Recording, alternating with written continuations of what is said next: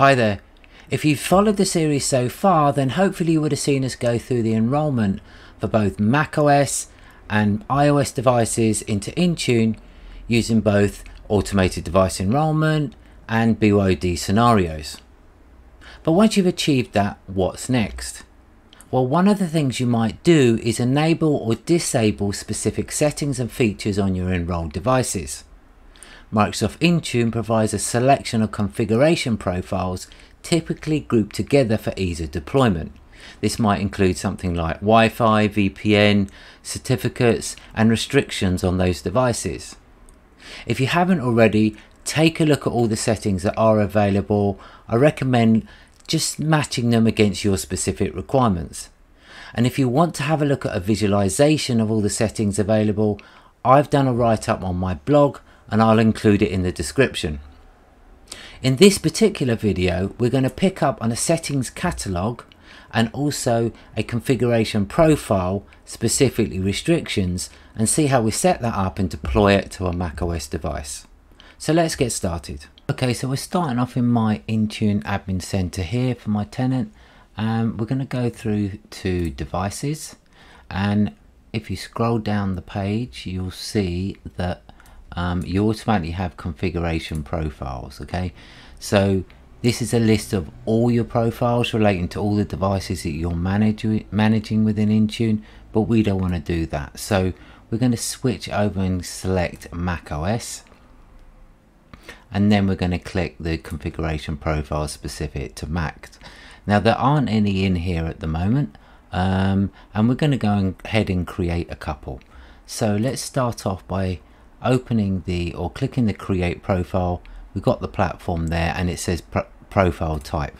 Now there are two types as I mentioned we're going to create we're going to create one with the settings catalog and one with templates. We start with templates here initially you'll see these are the groups of templates that Microsoft Intune contains currently and these effectively settings that are grouped together. Individually you can then select this and decide which settings specifically within this group of settings that you want to configure. Um, for us, um, we're going to go ahead and do a device restrictions policy. But just to highlight one other thing here, uh, despite the groupings under these templates, there's also this custom. Okay, now custom is a custom configuration template which allows IT admins to assign settings that aren't built into Intune yet. Now typically you would have to import the settings for this and just to be aware that Intune does not report against these actual custom settings so you're not going to get the full functionality that's available within the the existing other templates available so we're going to click on the device restrictions and then the create button.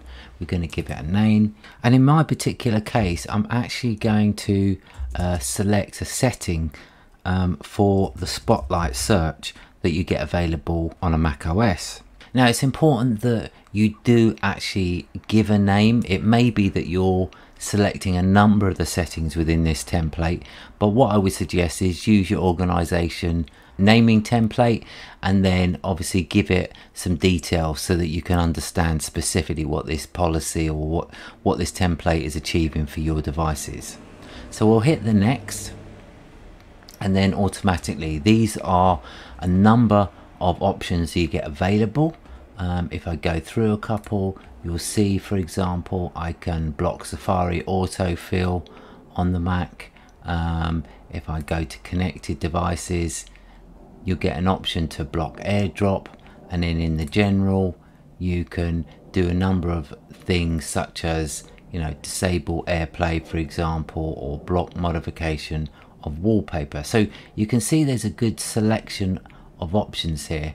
Typically um, the password options are quite popular obviously because if you want to require a password block a simple password um, and give it expiration date for um, days for example this is where you can do that and, and deploy that down to your devices the other thing to notice as well is that within all of these groupings of settings that you can configure it will tell you what they apply to. So for example, this is saying it's all enrollment types. Okay, so that's going to um, deal or deploy down to all the different types of enrolled um, Macs devices that you have within Intune. Further down the page, you can say this, see it's automated device enrollment. So obviously anything that's fully managed and enrolled through automate, automated device enrollment, these settings will only apply to those devices. So if we move back to the top here, we've got built-in apps section, and this relates to all enrollment types. Now, I'm just going to pick one kind of random setting just to show how it works. You need to match the settings according to your particular policies and what you're trying to achieve. But I'm just going to click this one. So block spotlight suggestions. Okay. And this is effectively uh, blocking the spotlight search for returning any results from an internet search okay if I go and have a look on this device and I bring up the spotlight you'll see automatically that spotlight is going to return um, results based on all of these different types of services so if I block the uh, spotlight suggestions it's going to re remove some of these options, particularly the one for the internet, and we'll see that working when the policy has been deployed. So I'm going to switch that to, to yes, and that's the only setting, just to kind of show the example how this works. I'm now going to hit the next, and then I'm going to add my device group in this particular case, but it might be a user group that you want to uh, add in instead. Now, I've got already got a group set up uh, for Mac OS devices specifically and this is quite key that you do that so obviously the prerequisite here is that you've got your users you've got your groups already set up and that just allows you to select them as, as required so I'll select the select there hit the next I'll review it and then I'll hit create now once that's created the device the policy will deploy down to the device. If I just refresh the screen, it should come up. There you go.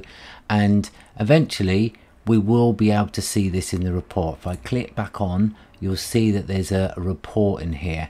Okay, obviously at the moment there's nothing, it hasn't been deployed. So we need to wait for that to be deployed down to the device. Alternatively, I can force a sync um, onto the device. So I'll come back when this is available. Okay, so I'm back and we should be now be able to see the results. If I click onto the actual policy, it should show, yes, it's showing that the there's a uh, succeeded. And if I look on the per setting status, it will show a success. There's no errors or conflicts. Okay. Alternatively, I can look at the deployment and uh, any troubleshooting for this particular policy deployed. If I go onto the particular device itself, go into Mac OS, click my device, you'll get the itinerary, for example, hardware the device. If I click on device configuration, I can see that there's the policy, okay, and it succeeded uh, and if I click that it will give me a uh, setting status of succeeded. Alternatively, the other way of doing this is if I go into devices there's a monitor section. Now this is where you would go if you want to look at uh, you're monitoring the deployment of say configuration, compliance, enrollments or software updates for example and if you were looking if there to see if there's any errors conflicts or whether a policy is pending, this is where you would come. So we've got our policy there, and as we can see, there's no uh, there's no issues at all around this policy. Um, again, I can go in there and I can look at the spotlight setting, and it's saying it's compliant on the device. So now we've finished that, we're going to go ahead and set up our separate setting, and that's going to be a cat or settings catalog configuration. So we go back into Mac, go into configuration profiles as we did before, hit the create profile. This case, instead of templates, we're going to hit the settings catalog and then hit the create. I'll give it a name. And in this particular case, I'm going to choose a setting which is related to software updates. So I'll click the next now, as it says here, with the settings catalog, you can choose which settings you want to configure. And I'll show you that. If I hit the add settings, I get a number of categories that I can browse. For example, I can go into accounts, um, app management, for example, all of which give me a selection of settings and I can individually choose the settings that I want. It's not a group as you get in a template. So I'm going to look for software and then click the search. And I've got one for system updates. Now there are a number of settings available particularly for this category okay? The one I'm really interested in here is to do um, automatic download and automatic check enabled. So I'm going to click those and then I'll close the pane. And these two settings appear okay? If I look at this one it's saying if it's false um, deselects the download new updates when available from the App Store option and prevents the user from changing the option okay? And the automatic check enabled deselects the check for updates option and prevents the user from changing the option. So it's going to tell me when I go back into that setting on my device that these settings are configured and managed by the MDM and also it's going to prevent me from you know carrying out certain actions on my device because it's been centrally managed. So I'll click those on and now I'm going to hit the next. I'm not going to do any scope tags. Hit the next again add my device group which as per the last configuration is Mac OS devices. Select that hit the next review as it always gives you a definition and summary of what you've created and then I'll hit the create button. That policy will deploy down to my device. Obviously there is a time lapse and you may need to hard sync your device or the device will check in after up to eight eight hours and then the policy will de be deployed. If I hit refresh here it should show that it's available and it's telling me that that's new um, and then if I go into that particular option it's not giving me any succeeded. So we'll come back when this is deployed down to my device. Okay so I'm back again. Um, this should now be available. If I select that settings that we just deployed to my Mac it's showing that that's succeeded. If I look at the per setting status as I did with last time you can see there's a success and there's no errors or conflicts. Now I won't go through the other monitoring sections, it's pretty much the same. Now, just to show this actually working, if I go into my um, system settings on my device and then into general, I can look at software updates. And despite the fact that it's showing an update available, this has already been downloaded, right? So um, it's already checked in before I actually deployed this, but it's actually saying at the top here, right? Updates for this Mac are managed by Contoso, which is basically saying the uh, by MDM. If I click on the um, information there, the options I had available to me to toggle on or off are no longer available. So our policy is restricting us from doing that. So I can no longer do that personally because my depart IT department decided that I can't. So I hit the done and then I'll go out of that.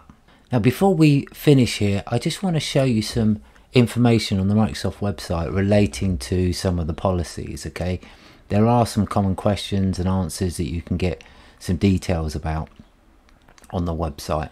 And if we come down to compliance and device configuration policies that conflict, basically, you know, if it's a compliance policy, these things are worth noting, right? Compliance policy setting always has precedence over configuration profile settings so that's quite important to know. Um, and that what that means is if you've got a more restrictive compliance policy it will take precedence despite the fact that you've got both set up. But if you've got a configuration policy setting that conflicts uh, with the setting in another policy this policy uh, is shown in Intune. We've shown it kind of in the monitoring area, but you will have to go in and manu manually resolve these conflicts yourself. As I said before, in relation to custom policies, this is for iOS, iPad, and Mac OS. It's saying that Intune doesn't evaluate payload of Apple configuration files or custom open mobile alliance uniform resource identifier. Blimey, that's a long name. Um, so you're not going to get the level of service within Intune for those custom policies. And the last thing I just want to raise is what happens when a profile is deleted and no longer applicable.